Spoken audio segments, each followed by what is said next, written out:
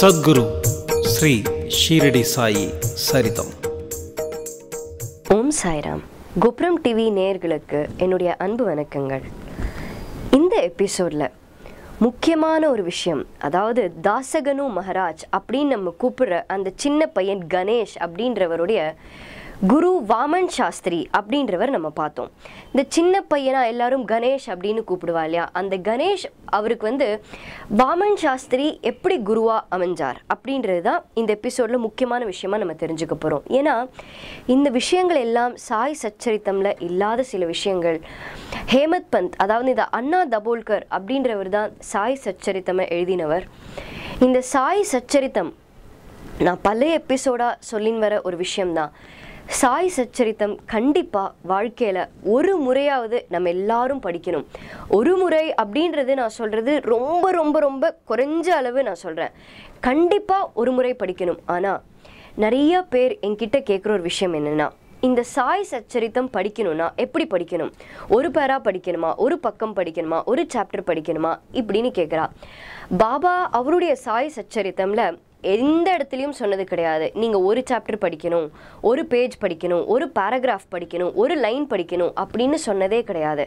ஆனால் நம்ம எப்படி எடுத்துக்கிறோம் அப்படின்னா பாபா வந்து அவர் உயிரோடு இருந்த காலத்தில் அவருடைய பக்தர்கள் கிட்ட சொன்ன விஷயத்தை தான் நம்ம இன்னைக்கு நம்ம வாழ்க்கையில் எடுத்துக்க போகிறோம் ஏன்னா பாபா ஒரு ஒரு லீலைகள் பண்ணதுக்கான காரணமும் அதுதான். அந்த லீலைகள் பண்ணும்போது அவர் பண்ணுற லீலைகள் அவருடைய பக்தர்கள் மூலமாக நம்ம எல்லாரும் தெரிஞ்சுக்கணும் நம்ம எல்லாரும் புரிஞ்சுக்கணும் அப்படின்றதுக்காக தான் அவர் உயிரோடு இருந்த காலத்திலே பாபா பண்ணிட்டு இருந்தார். அப்போ பாபா உயிரோடு இருந்த காலத்தில் என்ன சொல்லியிருக்கார் அப்படின்னா அவருடைய பக்தர்கள் கிட்ட நாம சப்தாகம் பண்ணு அப்படின்னு இருக்காராம் இந்த நாம சப்தாகம் அப்படின்னா என்னன்னா ஏழு நாட்களுக்குள்ள இந்த சப்தாகம் அதாவது இந்த பாராயணம் முடிக்கணும் அப்படின்னு சொல்லியிருக்கார். அதனால ஜென்ரலாக அந்த இந்த விரத முறைகள் இதை பற்றி தேர்ஸ்டே ஃபாஸ்டிங்னே நம்ம கோபுரம் டிவியில் ஒரு எபிசோட் போட்டிருக்கோம். இந்த விரதம் இருந்து தான் படிக்கணும் அப்படின்னு பாபா எந்த இடத்துலையும் சொன்னது கிடையாது. பாபா சொன்ன விஷயம் என்னென்னா விரதமே இருக்க வேண்டாம். அவர் வந்து இந்த விரதம் இருக்கணும்னு எதிர்பார்க்கல அப்படின்னு ஷியாமா மூலமாகவும் சொல்லியிருக்கார். அந்த பாபா பார்க்க வர ஒரு அம்மையார் மூலமாகவும் சொல்லியிருக்காரு. இந்த விரதம்லாம் இருந்து அவரை பார்க்கறதுலாம் அவருக்கு பிடிக்காது அப்படின்னு. அப்போ இந்த சாய் சச்சரித்தம் அந்த ஆத்மார்த்தமான பக்தியோட படிக்கும்போது அந்த கம்ப்ளீட் கான்சென்ட்ரேஷன் அந்த புத்தகத்து மேலே தான் அந்த கவனம் இருக்கணும். அதில் பாபா என்ன சொல்லியிருக்கார்? நம்மளுக்கு அந்த வாழ்க்கையில் என்ன தத்துவங்கள் இருக்குது இதெல்லாம் வந்து இந்த நாம சப்தாகமாக படிக்கலாம். அதாவது வியாழக்கிழமை ஆரம்பித்து அடுத்த புதன்கிழமை அந்த சாய் சச்சரித்தமை முடிக்கலாம். இல்லை நம்ம வேலைக்கு போகிறோம் இல்லை வேறு சில காரணங்கள்னால நம்மளால் முடிக்க முடியல அப்படின்னா தினம் அட்லீஸ்ட் ஒரு சாப்டர் படித்தோன்னா அதாவது வாழ்க்கையில் பாபா அந்த ஒரு சாப்டர் தான் படிக்கணும்னு சொல்ல நீங்கள் ரெண்டு சாப்டர் படிக்கலாம் மூணு சாப்டர் படிக்கலாம் இந்த ஒரு சாப்டர்னா நம்மளுக்கு அந்த கணக்கு தெரியும் இன்றைக்கி ஒரு சாப்டர் முடிச்சாச்சு நாளைக்கு வேறு சாப்டர் இந்த தினம் ஒரு சாப்டர் படித்தோன்னா அவ்வளோ நல்லது. நம்ம வாழ்க்கையில் என்னெல்லாம் நினைக்கிறோமோ அதெல்லாம் நடக்கும். இந்த சாய் சச்சரித்தமில் அந்த அண்ணா தபுல்கர் அதாவது இந்த ஹேமத் பந்த் நிறைய விஷயங்களை எழுதியிருக்கார். பாபாவுடைய லீலைகள் ஒன்று ரெண்டு க கிடையாது. இந்த சாய் சச்சரித்தமில் படிக்கும் போது அந்த சாய் சச்சரித்தம் யாரெல்லாம் படிக்கிறோமோ கண்டிப்பாக நம்ம கண் கலங்காத தருணம் இருக்கவே இருக்காது. அவ்வளோ அந்த மகத்துவம் வாய்ந்த மகானை பற்றி இந்த சாய் சச்சரித்தமில் இருக்குது ஆனால் பாபாவுடைய லீலைகள் வந்து ஏகப்பட்டது இருக்குது அது எல்லாத்தையும் எழுத முடியாது இந்த ஹேமத் பந்த்னால. இந்த எழுத முடியாத லீலைகள் பாபா நம்ம கோபுரம் டிவி மூலமாக உங்களுக்கு எல்லாம் கொடுத்துருக்காருனா அது எங்களுக்கு ஒரு புண்ணியம். கேட்குற உங்களுக்கு அது ஒரு பெரிய பாக்கியம். அதனால் இந்த தாசகனு மகாராஜ் அப்படி அவரை பற்றிலாம் நிறைய விஷயங்கள் சாய் சச்சரித்தமில் இல்லாமல் இருக்குது அப்போ அந்த சின்ன பையன் அதாவது அதாவது கணேஷ் அப்போ அவருக்கு தாசகனு மகாராஜ்னு பேரே கிடையாது. அவருக்கு எப்படி தாசகனு மகாராஜ்னு பேர் வந்ததுன்றது முதற்கொண்டு இந்த சாய் சச்சரித்தமில் இல்லை. அந்த விஷயங்களாமும் நான் சொல்லும்போது உங்களுக்கு புரியும். ஆஹா இவ்வளோ நடந்திருக்கா அவருடைய வாழ்க்கையில் அப்படின்னு. அப்போ இந்த கணேஷ் அப்படின்றவருக்கு இந்த வாமன் சாஸ்திரியை எப்படி தெரியும்? இந்த கணேஷ் எப்படிப்பட்ட ஒரு பையனா? எதை பற்றியும் கண்டுக்காம அப்படியே வாழ்க்கையில் வாழ்க்கை எதுக்காக வாழறோன்றதே புரியாமல் இருந்த ஒரு சின்ன பையன். அப்படி இருக்கும்போது நம்மளோட வாழ்க்கையிலே ஒரு குரு அமையிறது அப்படின்றது ஒரு பெரிய விஷயம். அது வாழ்க்கையில் ஒரு வரப்பிரசாதம் அப்படின்னு சொல்லலாம். அப்படி இருக்கும்போது இந்த கணேஷுக்கு அதாவது நான் சொன்னேன் ஒரு வாழ்க்கையில் ஒரு சின்ன விஷயம் கூட அவருக்கு புரியாது. அப்படி இருக்கும்போது குருவோட மகத்துவம் புரியுமா? இல்லை. அவர் பாட்டுக்கு இருந்துட்டு ஸ்கூல்லையும் படிக்காம எல்லாரையும் கிண்டல் அடிச்சுட்டு இப்படியே இருப்பாரா இந்த கணேஷ்? அப்போ இவருக்கு என்ன ஒரு பெரிய கலை அதாவது ஒரு பெரிய டேலண்ட் இருந்தது? என்னன்னா இந்த போயம் எல்லாம் அழகா எழுதுவாரா? அந்த நாடகம் போயம் இதெல்லாம் ரொம்ப சூப்பராக எழுதுவார் இந்த கணேஷ்? ஸ்கூல்லேருந்து வெளியில் வந்துட்டாலும் நான் வந்து சில எபிசோட் முன்னாடி சொன்னேன். அவருக்கு வீட்டில் வந்து சொல்லி கொடுக்கறதுக்கு ஒரு மாஸ்டர் வந்து இதெல்லாம் சொல்லி கொடுத்தாலுமே அவருக்கு இந்த நாடகம் எழுதுறது போயம் எழுதுறது இதிலெல்லாம் அவ்வளோ இன்ட்ரெஸ்டாக அப்போ என்ன பண்ணுறாருன்னா மராட்டி நாடகம். அப்போது மன்யு ரவா அப்படின்றதுக்கு பேரா. அந்த நாடகத்தை இவர் எழுதியிருக்கார். எழுதி அந்த நாடகம் செம்ம ஹிட் ஆச்சா. அங்கே இருக்கிற எல்லாருக்கும் இந்த கணேஷ் மேலே அவ்வளோ ஒரு அன்பு. அவ்வளோ ஒரு சந்தோஷம். என்னடா இந்த சின்ன பையனாக இருக்கானே இவன் இவ்வளோ சூப்பராக எழுதியிருக்கானே என்ன பிரமாதமாக இருந்தது இந்த நாடகம்?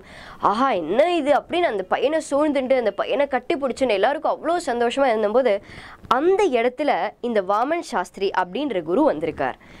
அங்கே வரும்போது இந்த கணேஷ்க்கு இந்த வாமன் சாஸ்திரி ஒரு குரு அப்படின்றதெல்லாம் தெரியாது. ஆனால் வாமன் சாஸ்திரியை பார்த்தோன்னே இந்த பையனுக்கு ரொம்ப சந்தோஷமாக இருந்ததுதான் அப்போ இந்த பையனை என்ன பண்ணியிருக்கா நான் உங்ககிட்ட போன எபிசோடில் சொன்னேன். இந்த பையனுக்கு வந்து ஒரு சம்பளத்தை வச்சுட்டு இந்த சம்பளம் உனக்கு கொடுக்குறேன் அப்படின்ற ஒருத்தர் வந்து இவரை வேலைக்கு வச்சுட்டார் அப்படின்றத நான் சொன்னேன். அப்போ இவருக்கு என்ன வேலை வந்தது அப்படின்னா வாமன் சாஸ்திரியை பார்த்துக்கிறதுக்கான வேலை வந்து இவருக்கு அலோகேட் பண்ணியிருந்தாராம். அதாவது இந்த கணேஷ்க்கு வாமன் சாஸ்திரியை பார்த்துக்கணும் இதுதான் அவரோட வேலை கொஞ்ச நாளுக்கு. இந்த வாமன் சாஸ்திரி ஸ்ரீகோண்ட் அப்படின்ற ஒரு இடத்துக்கு வந்திருக்கார். எதற்காக வந்திருக்கார் அப்படின்னா இந்த பழைய சம்ஸ்கிருத புத்தகம் எல்லாம் இந்த ஓல்டு சான்ஸ்கிரிட் புக்ஸ் இதெல்லாம் இந்த சான்ஸ்கிரிட் புக்ஸ் எடுத்து அதுலேருந்து நிறைய இன்ஃபர்மேஷன் நிறைய தகவல் வந்து இந்த வாமன் சாஸ்திரிக்கு வேணுமா. இந்த தகவல் எல்லாம் அந்த புத்தகத்திலேருந்து எடுக்கிறதுக்காக தான் இந்த வாமன் சாஸ்திரி ஸ்ரீகோண்ட் அப்படின்ற இடத்துக்கு வந்திருக்கார். அப்போது இந்த புத்தகத்திலேருந்து எடுக்கிறதுக்கு இது ஹெல்ப் பண்ணுறதுக்கு அவர் ஸ்ரீகோண்டுக்கு வந்த உடனே அவரை பார்த்துக்கிறதுக்கு இதெல்லாம் வந்து இந்த கணேஷோட வேலையாக இருந்தது. ஆனால் அடுத்த நாள் ஃபஸ்ட் டே வந்திருக்கார். அடுத்த நாள் வந்து இவர் வந்து வரவே இல்லையா? வாமன் சாஸ்திரி. அப்போது இந்த கணேஷ் என்ன பண்ணியிருக்கார் அப்படின்னா லஞ்ச் சாப்பிடும்போது எல்லாருக்கிட்டையும் பேசி இந்த வாமன் சாஸ்திரி பேசி பற்றி பேசி கிண்டல் அடிச்சிருக்கார். என்ன இந்த வாமன் சாஸ்திரி? என்னமோ பழைய புத்தகத்திலேருந்து எடுக்கணும்னாரு. சான்ஸ்கிரிட்னு வேற சொன்னார். பெரிய சம்ஸ்கிருத ஸ்காலர்னு வேற சொன்னார். ஆனால் ஒரு டைமுக்கு கூட வர தெரியல. இன்னைக்கு வரவே இல்லை. இவர் என்ன புத்தகத்துலேருந்து எடுக்க போகிறார் என்ன பண்ண போகிறார் அப்படின்னு பேசி எல்லாருக்கிட்டையும் கிண்டல் அடிச்சிருக்கார். வாமன் சாஸ்திரி ஒரு அவ்வளோ ஒரு மகத்துவம் வாய்ந்தவர்னு இவருக்கு தெரியாது. இந்த கணேஷ்க்கு. சின்ன பையன் வயசு ஒரு காரணமாக இருந்தாலும் நான் சொன்ன மாதிரி வாழ்க்கையோட முக்கியத்துவம் அடுத்தவங்களை பற்றி தப்பாக பேசக்கூடாது. இந்த சின்ன சின்ன விஷயங்கள் கூட ஒரு தெரியாமல் இருந்த ஒரு வயசு தான் அப்படி இருக்கும்போது அடுத்த நாள் வந்து இந்த வாமன் சாஸ்திரி வந்தாராம். வந்தபோது இந்த கணேஷ் வந்து இந்த வாமன் சாஸ்திரியை பார்த்துட்டு ஓ இன்னைக்கு வந்திருக்கீங்களா? சரி வாங்க. அப்படின்னு சொல்லி இந்த வாமன் சாஸ்திரிக்கு வேணுங்கிறதெல்லாம் எடுத்து கொடுத்து இந்த பழைய புத்தகத்துலேருந்து இதெல்லாம் எடுத்து கொடுத்து கொஞ்சம் கொஞ்சம் ஹெல்ப் பண்ணிட்டு இருந்தார். ஆனால் அதுவும் மனசார பண்ணல. ஆனால் திடீர்னு ஒரு நாள் இந்த கணேஷ்க்கு இந்த வாமன் சாஸ்திரி மேலே ஒரு பெரிய பிரியம் வந்து அவ்வளோ ஒரு பாசத்தோட அவ்வளோ ஒரு மரியாதையோட நடந்துக்க ஆரம்பிச்சாராம் அந்த தருணம் என்ன? எப்படி கணேஷோட மனசு மாறித்து அப்படி வாமன் சாஸ்திரி என்ன பண்ணார்? இது எல்லாமே நம்ம அடுத்த எபிசோடில் பார்ப்போம். நன்றி வணக்கம். ஓம் சாய்ராம்.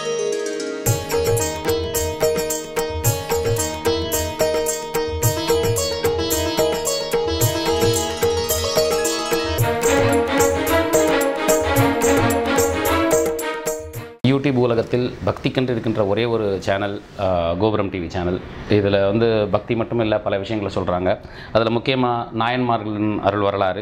ஷீரடி சாய்பாபா அவர்களின் வரலாறு பன்னிரெண்டு ஆழ்வார்கள் பற்றிய தொகுப்பு மகா பெரியவர் பற்றிய ஆய்வுகள் ஜோதிடம் ஒரு ஆய்வு அப்புறம் ஆன்மீக அதிசயங்கள். இது அனைத்தும் ஒவ்வொரு நேரத்துலையும் வந்து அவங்க டெலிகாஸ்ட் பண்ணுறாங்க இந்த பிஸியான காலகட்டத்தில் நீங்கள் இதெல்லாம் பார்க்கணும்.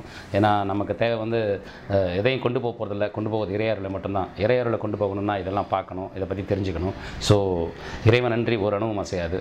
ஸோ தயவு செஞ்சு எல்லோரும் வந்து கோபுரம் டிவி சேனலை சப்ஸ்கிரைப் பண்ணுங்கள் லைக் பண்ணுங்கள் ஷேர் பண்ணுங்கள் விதம் விதமான பக்தி நிகழ்ச்சிகளை உங்களுக்காக தந்து கொண்டிருக்கிறது உங்கள் கோபுரம் டிவி உங்களுக்கு பிடித்த நிகழ்ச்சிகளை லைக் செய்யுங்கள். உங்களுக்கு பிடித்த மாணவர்களுக்கு ஷேர் செய்யுங்கள். மேலும் சப்ஸ்கிரைப் செய்வதோடு மட்டுமல்லாது அருகில் இருக்கும் பெல் பட்டனை கிளிக் செய்து கோபுரம் டிவி நிகழ்ச்சிகளை உடனுக்குடன் தெரிந்து கொள்ளுங்கள். மற்றும் ஒரு மகிழ்ச்சியான செய்தி. கோபுரம் டிவி ஆப்பை கூகுள் பிளே ஸ்டோரில் ஃப்ரீ டவுன்லோட் செய்து கோபுரம் டிவி நிகழ்ச்சிகளை தொடர்ந்து கண்டுகளியுங்கள். பாருங்கள் ரசியுங்கள் பரவசமடையுங்கள். கோபுரம் டிவி டாட் காம். பக்தி பக்திமயம்